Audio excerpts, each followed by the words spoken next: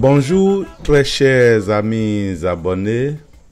Merci de votre présence constante sur cette chaîne des grands événements qui s'efforce d'analyser toutes les actualités en cours en Afrique et partout dans le monde entier. Merci de votre présence. Ce matin encore, nous restons en Guinée. Nous restons en Guinée-Conakry pour analyser ensemble à la barre les accusés qui défilent. Ayant entendu l'appel du commandant Tomba, Marcel Guilavogui, capitaine Marcel Guilavogui, lui emboîte le pas pour venir dire au peuple de Guinée sa part de vérité. Seulement, pour le moment, je dis bien pour l'instant, il a choisi de parler des autres sans parler de lui-même, puisqu'il estime que les autres qui ont déjà puisqu'il estime que les autres qui ont déjà défilé à la barre ont parlé suffisamment de lui. Dans les deux extraits que je vais vous présenter, le commandant Tumba se dit seul contre tous.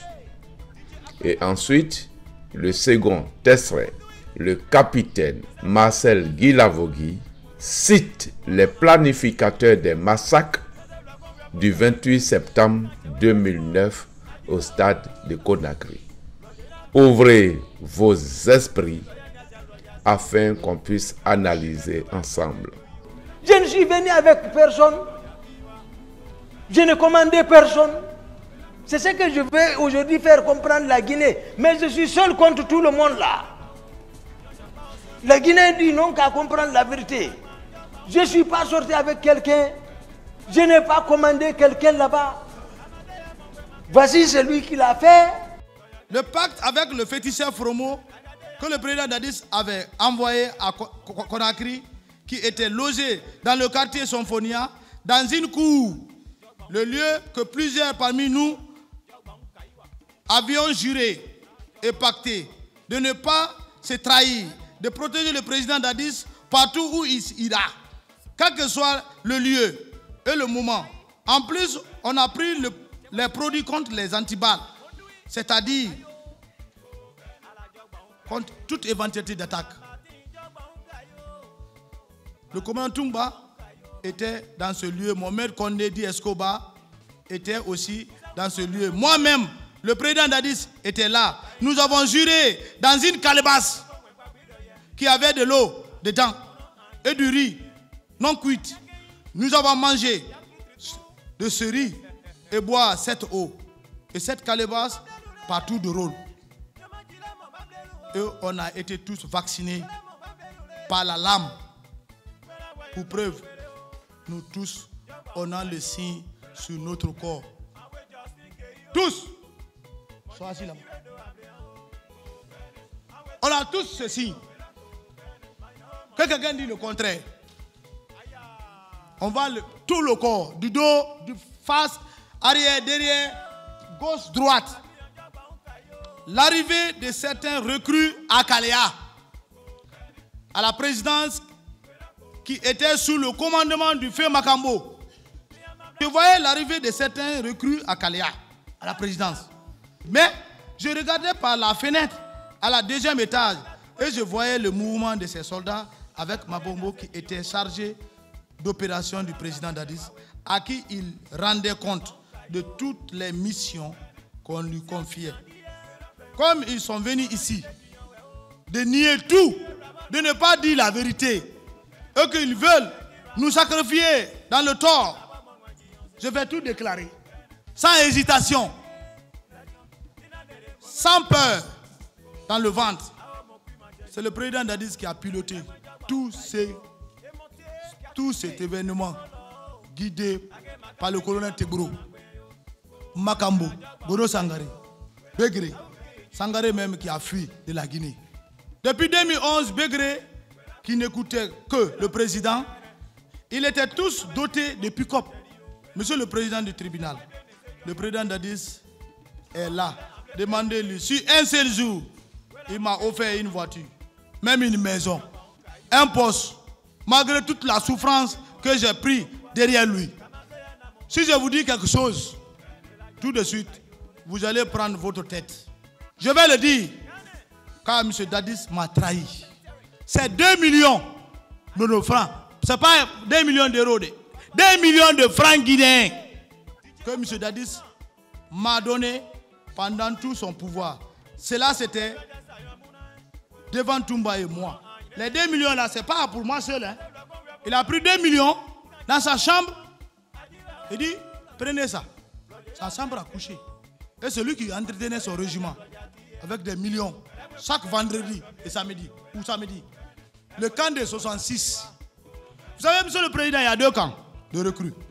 Sont très, très complexes. Parce qu'il ne faut pas qu'on mélange les choses. Le camp de 66, c'était une ferme, ancienne ferme, que la marine a utilisée pour les recrues. Donc le camp de 66 est différent du camp de Kalea. C'est la marine qui avait sollicité le recrutement. Ces deux-là ont fini leur formation et ont été affectés dans... C'est dans ça que nous avons eu des petits quotas. C'est dans ça. Moi, on m'a donné 6 places. C'est pas 5 à 6 places. J'ai dit, Eh, monsieur le président. Eh. J'ai pris quelques jeunes frères et certains jeunes qui étaient au camp, qu'on se côtoyait avant le pouvoir. Ils sont partis faire la formation. Je crois bien, même les hommes du général Sekouba Konaté faisaient partie dans ce groupe. Les jeunes de son village. Ce centre de formation est très différent de celui de Kalia. C'est clair. D'ailleurs, monsieur le président, pour être clair, le président Sekouba Konaté n'a rien à avoir dans cet événement du 28 septembre. Ils n'ont qu'à laisser le nom du général. Ça, ce n'est pas un moment de, de- de- de- salir quelqu'un. S'il y a un antécédent entre vous sur le pouvoir, non.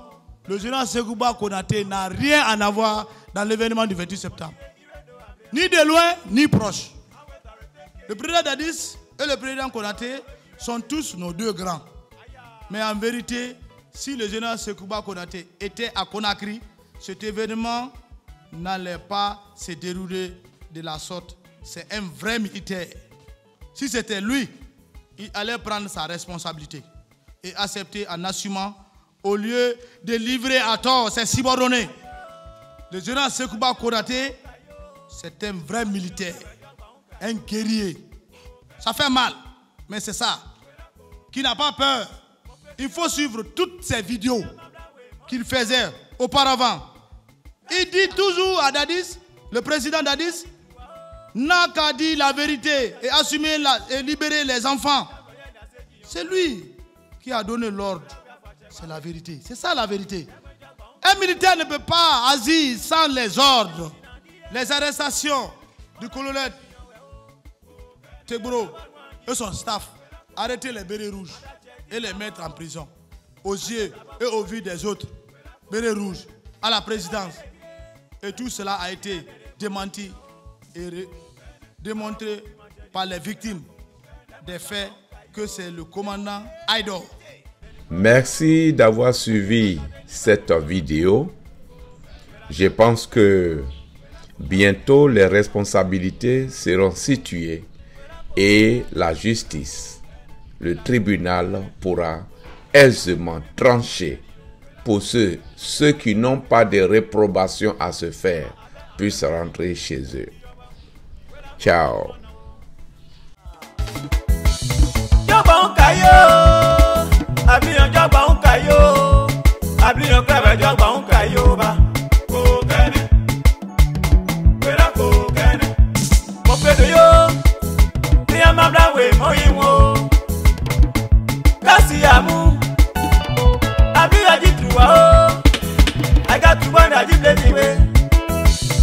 onye na-asị yonkorewo were ọbịa fachegbawe degbe njọgba nka yo